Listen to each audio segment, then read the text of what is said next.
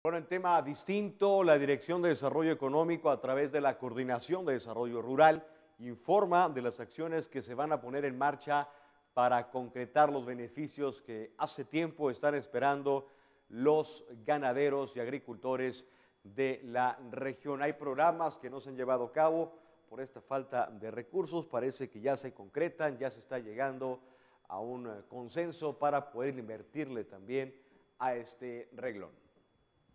Está visitando los ejidos con el fin de hacer un levantamiento de las necesidades que han surgido en los ejidos para estar listos para el, mes de enero, cuando se abren las ventanillas, estar listos para la aplicación de los programas. Entonces, en ese sentido hemos avanzado bastante, no nos hemos querido quedar parados para que en, en enero no nos agarren de sorpresa los programas y ya ir clasificando qué programas hay y a cuáles están sujetos los, eh, en este caso, los ocho ejidos pertenecientes al municipio trabajo, ¿hacia dónde se va a enfocar? ¿Qué, ¿Qué, proyectos o qué programas pudieran aterrizar a esa zona?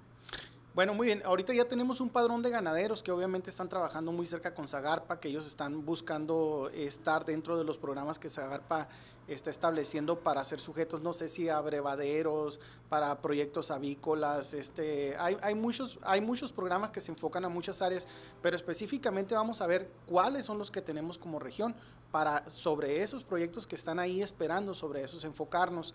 Este, en el área rural también nos han mandado algunas necesidades o peticiones, los cuales también eh, como ejidos este, quieren desarrollo en, el sentido que nos están pidiendo el agua entubada, drenaje, tratamiento de aguas residuales. Este, hay muchos proyectos. Ese apoyo frontera es un fondo que está manejando el INADEM.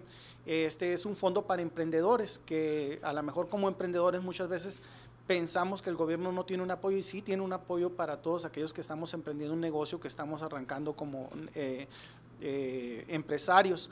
Este Fondo Frontera, por ejemplo, te especifico que a partir de que hemos estado platicando de que hay fondo para aquellas personas que se quieren eh, emprender un negocio, han llegado jóvenes, uno de ellos eh, te comparto, nos ha sorprendido mucho porque está trabajando en un proyecto de hidroponía en el desarrollo de lechuga. Ellos se van a hacer eh, productores de, lechuga, pero lo van a vender localmente a los restaurantes de, eh, de, ensaladas aquí locales. Entonces, es un proyecto muy bueno, son jóvenes que traen sus inquietudes y que las quieren sacar y para eso estamos aquí. ¿no?